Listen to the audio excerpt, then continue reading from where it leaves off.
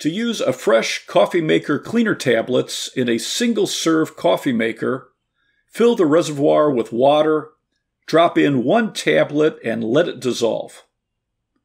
Make sure there isn't a K cup in the unit. Place a large cup on the drip tray and brew with the largest cup size.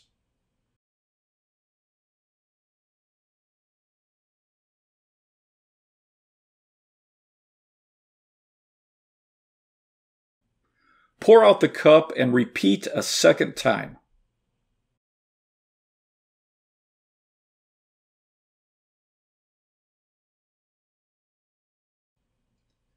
Rinse out the reservoir and fill it with water. Put the cup on the drip tray and brew water only with the largest cup size. Pour out the cup and repeat a second time to rinse the unit.